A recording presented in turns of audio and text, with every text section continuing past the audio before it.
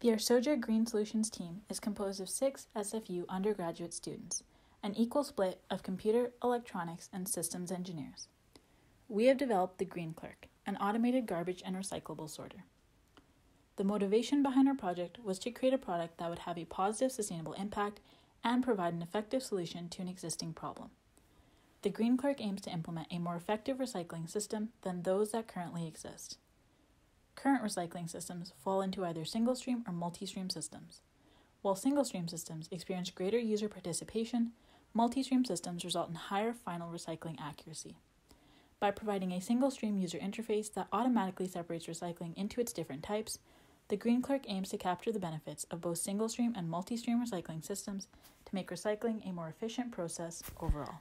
Due to COVID-19 pandemic, SFU moved away from in-person instruction. As a result, our group had to complete our POC demo individually and through virtual means. Here you can see our group collaborating over our weekly Zoom call. Prior to the COVID 19 situation, all group members were equally participating in various aspects of the project. However, certain group members focused on different tasks, like Osama and Anysa actively took part in the computer vision portion Sumaiya and Richard focused on mechanical, and Amneet and Jasman worked on the electronics and power distribution aspect of the project. Due to COVID 19, we had to adapt to change and modify our scope for proof of concept demo. As agreed upon with our instructor, we would no longer mount the classifying bin to the rod as it required more than one person to physically complete the task, violating provincial and federal health guidelines. During the integration of our proof of concept assembly, our solenoid lock burnt out and it was difficult to purchase a new one in this global pandemic. Again, as per our instructor's instructions, we decided to not pursue this task at the current moment. The total cost of Green Clerk's proof of concept assembly came to a grand total of 650 Canadian dollars. We plan to use almost all electronic and mechanical components from our POC in our engineering prototype. Some additional cost was endured due to COVID 19, but the group still feels that it stands in a financially healthy position. In the following videos, you will see Anysa working and debugging our capacitive sensor issues, Richard mounting ultrasonic IR and solenoid onto the bin, Osama integrating all electronic software and mechanical parts for the final assembly. So currently the inductive sensors are mounted and those are working just fine, but the capacitive sensors we're having issues with. They seem to be interacting with each other, so when they should be off, they're actually showing like they're on. Um, if I run my finger along to see what they detect, you'll see that sometimes they just stay on even though my finger's been removed. Um, and some are just always on. So I've been trying to play around with the spacing. So I tried adjusting the spacing just of the capacitive sensors that were always staying on. Alright, so we're going to use a glass object and test the capacitive sensors.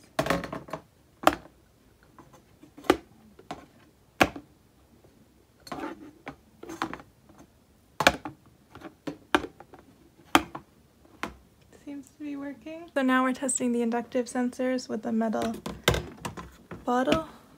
You can see there's no problem with these turning on.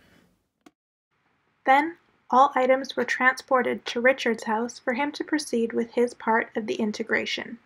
Now it's time to get the servo connected to the rod. All right, the motor is attached back to the rod here.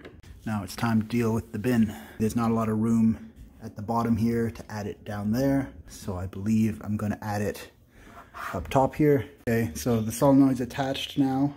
Both ultrasonic sensors are now attached. I'm now testing the ultrasonic in the holes that we drilled previously to see that that crossbar does not interfere with the ultrasonic. Uh, you can see it's reading 35 centimeters, which is roughly the height of the bin. Okay, so the IR sensors are hooked up now. You can see one up top and one at the bottom there. Uh, here's the setup here. And You can see that currently nothing is being detected. If I stick my hand here, you can see that it is currently detecting my hand.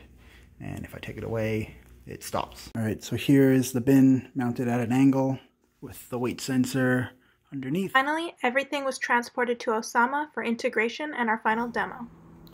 So we have the system on and we'll be testing a glass item. we insert the glass item.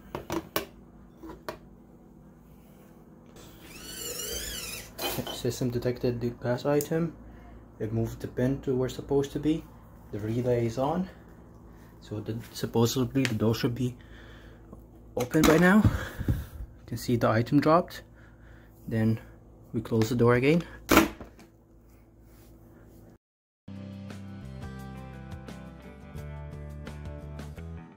So now we'll be testing plastics. We go systems running. Insert this plastic item. Item detected as plastic, went back to went through cycle, and the relay we can see the relay here. Okay, relay. Solenoid's not working. I have to open up the door by myself. Close the door. Right, and done. So I have some paper here. We'll throw it into the system and see how the system reacts. Okay. Okay, paper. Yeah, system detected its paper and moved to the paper. And the relay is on, you can see.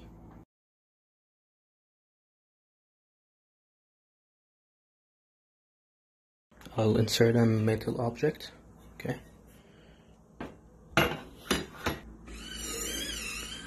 Right? It moved to recyclables because metal goes to recyclables. The relay is on. You guys i think we should end this off with a high five. Yeah